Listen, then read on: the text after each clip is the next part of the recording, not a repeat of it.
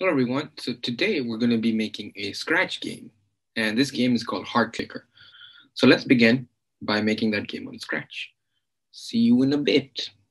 So this is the project that we're going to create. It's called Heart Clicker. So right here we have a title and then we have a button. So when I click on the start button, a bunch of hearts start falling from the top to the bottom. And as I click them, I start to gain points, as you see here. So the tapping is done by my mouse. Once my mouse is over the heart, I gain a point whenever I click on them. And that's the game. And what it's using is a clone to create copies of these hearts. And then it's randomly moving from left to right and dropping them from all the way from the top to the bottom. Okay, we're going to begin our tutorial.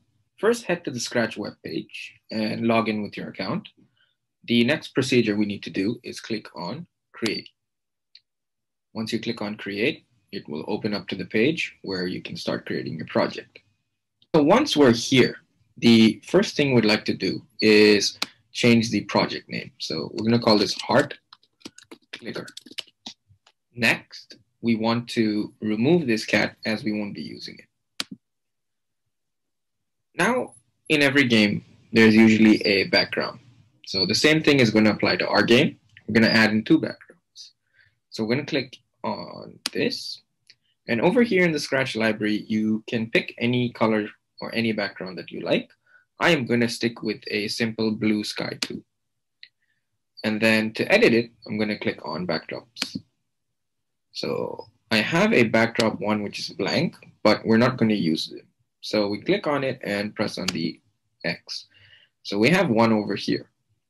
So I'm going to rename this with start game. So that is my first backdrop. Then I'm going to duplicate this. So right click and duplicate. And I'm going to call this the game screen. So start game is just what happens when we start our game. Game screen is where the main game is. So as we begin on this, we would like now to add in text. So we can click on this T and you can pick on any color that you like.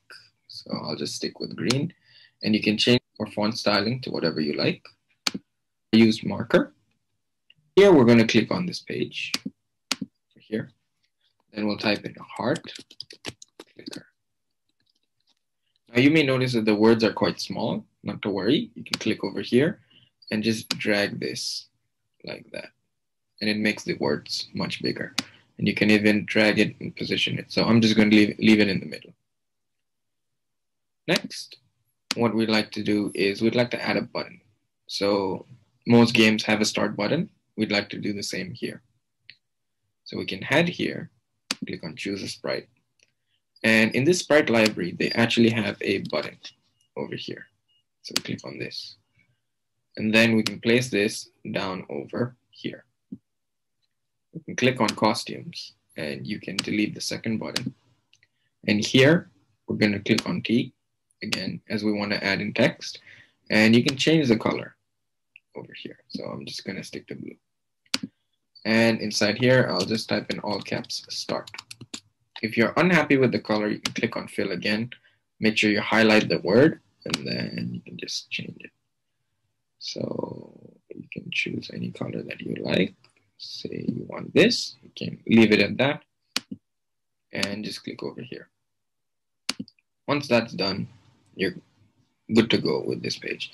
If you want to change the size, you can always go here and change it to maybe 200. You can make the button bigger and then place it over here. So as we have our button, we'd like to add some actions. And to do that, we need to add some coding blocks. First, we click on events, and then we take out when sprite clicked. So I'll make this a bit bigger. So this block, when sprite clicked, what this means is it's an event. And in this event, it only runs when we, the user, click on this button with our mouse. So the next thing we do is we click on looks and we take out the hide block here. Because when we click on this block, we want it to hide. And then we wanted to change the backdrop to the game screen. Next is we click on the events and take out a green flag. So this is when we click on the green flag. That means when we start our game. So when we start our game, we want it to be seen. We click on show, scroll down here, take out show. Next, when we click on this here, we want to show this background. So we take out switch backdrop and we click on the start game, which is here. So we click on this, we're here. And then the next thing we want to do is make a variable. So the variable, we call this score. S-C-O-R-E. But when we start the game, we don't want to see this score on top over here. We want it to be hidden. In order to hide that, we have an option in variables. You will see a hide over here. Hide variable, and then you change this to score. So when you click on this, score variable is hidden. The button is here, the text is here, and this background is here. Once you click this, you go to the next page. So back to the backdrops here. Um, this is blue in color. For this, you can pick in any color you like. I'm gonna click on the paint and you can select whichever color you want. If you want yellow, you can do yellow. Since it's a Valentine sort of game, I will go with a color of red here. So after you've selected that color, the next thing is we want to start our game and we want to add in our main character. So the main sprite we're using is a heart. You can click on choose a sprite. Here we can click heart. So with this heart here, we can move this over here. You can click on costume and you have two options. You can either click whichever one you want. If say you want the purple heart, you can keep that. If you don't want the red heart, you can just delete it and you can keep the purple heart. Next, we'd like to maybe decrease the size as the heart is quite big. You can change this to 50.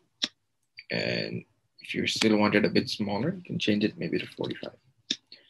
So as we have our heart, what we want to do here is that when we are on this background, we want to show the score variable as our game is starting. We click on events, we take out the when backdrop switch to just increase this. So as we know, this is called game screen. And then we click on variables and we take out the show variable. So this is where we can see our variables score. Next, we want to actually hide this heart. So we click on looks and we use hide. We'll place this here. Next, the thing is when we start a game with score, as you know, anytime you play any game, our score starts with zero. So the same thing has to be applied to this game too. Click on variables and we take out set my variable to zero and you can change this to set score to zero. So now when we click this, we notice there's a little issue. When I start my game, the heart has disappeared. But when I click that, the heart was just now there. So in order to have the game start properly, we can click on control and take out a wait until. So now the heart is gone, but since I had the hide, but then again, my heart is hidden. But I want to show a bunch of other hearts. So what I can do is I click on this wait until and I keep it here. And then I go to operator. So in operator, we have a equal sign here. We can place this here and we can change this to number two. So the reason why we're changing this to the number two is if we go back to our backdrops, you'll see that number one is start game. Number two is our game screen. So what we're telling this heart is that we'll wait until it's the second backdrop. And to choose that, you go to looks, you scroll down, you'll see background number, and then you just add that here.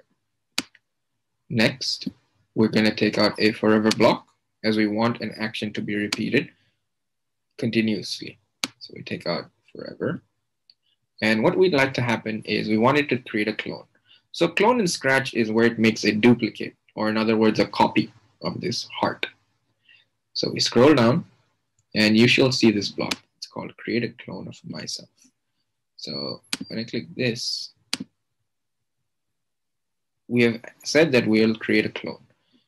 But now what we need to do is give it instructions as to what will it do when it becomes a clone. So that is in the next part over here. So you can bring this back up, minimize it a bit. And then here we can take out when I start as a clone. So this here is when our clones start to appear on our screen. Then we click on the forever block as we'll be using that. We want all the actions inside here to continuously happen. So first, when we begin, we want to see the clone. So we scroll down here and take out show. Next, what we'd like to do is we want the heart to go in a random position on our screen.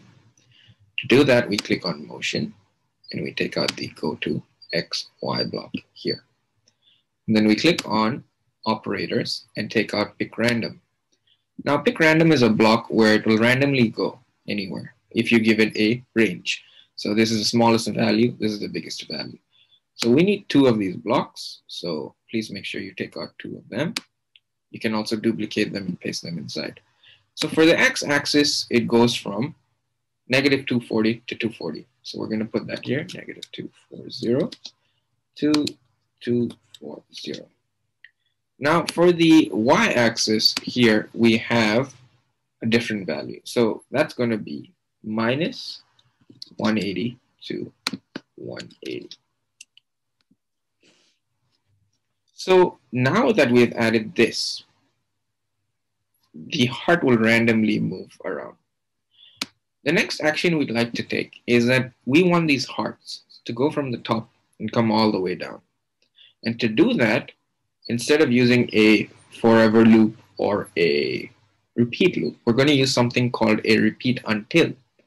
So this block is used when we want an action to be repeated until a certain condition is met. So we click on control, take out this repeat until. And what we're going to place here is we're going to repeat whatever action we put inside this block until this heart, these hearts reach the edge. So we're going to take out the touching here and we can change this to touching edge. Next, what we'd like to do is click on motion and take out the change Y as we want it to fall down and when anything goes from up to down on the axis, that's on the Y axis. So here we have put change Y, but with a positive number, it would go up. So here's where we can make the game a little interesting. We can take out pick random and we want the computer to pick a random number between negative 5 over here to negative 10. So the computer will pick a random number and the heart will move down slow or a bit more quicker. And it'll randomly happen with each and every clone. Next, what we'd like to add is that if this heart is touching the edge, we want it to disappear because we want more hearts to follow from the top. So we want it to be a continuous process of hearts falling from the top coming down, disappearing, and then having more come from the top. So we click on control, and then we take out a if touching, and we put this inside here. So once again, we're going to be using the same block, if touching edge. So we click on sensing, take out if touching edge, and place this here. And then what we can do here is click back on control. And then you will see a delete clone. So your clone will be deleted. So this is how our coding process has gone so far.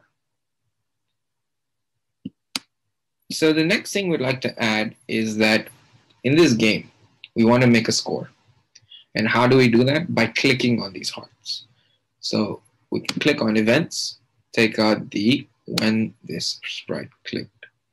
And then very simply, you can head to variables, take out your change my variable, and change this to change score by one. So when we begin at this background, we start at zero. And then our main heart is hidden. And then we wait until it changes to this backdrop. And then we start creating clones of myself, which is referring to the heart. Next, when a clone is created, it's shown, it randomly goes according to the X and Y axis range that we've added. And then constantly until it reaches the edge, it will keep on going from the top of the screen to the bottom. And then whenever they touch the bottom, they will be deleted. And whenever our mouse is clicking on these hearts, our score is changed by one. So let's check it out. Let's see if everything works well. So we have heart clicker, we have the background, we have the button. So we've added the button code here of saying that when we click on the sprite, we want this to be hidden and we wanted to change the game screen. And we've also said that when the game, when we've clicked on the green, we've also said that when green flag clicked, we want this button to be shown, show the start game background, and hide the variable. So let's do that. So there, you have a bunch of hearts falling. And they're cloning, and they're falling from the top to the bottom. And whenever you click them, you get a score. So I'm not the best at this game. Hopefully you guys are much better. But this is the heart clicker game that we have created. And if you want to restart the game, no problem. Just click on the green flag. You're back at the start point. And this is the end of our tutorial. So that's the end of the tutorial. I hope you guys had fun. If you like this video, please make sure to like, share, and subscribe to First Code Academy for more fun tutorials on YouTube. See you soon. Bye-bye.